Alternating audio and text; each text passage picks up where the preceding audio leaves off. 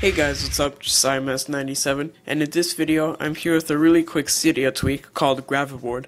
Now, Graviboard allows you to hold the power button or any other button through settings and add gravity to your springboard and you could move around your icons with your finger. And um, this is a really cool tweak. I really like it. Uh, just kind of cool to impress your friends.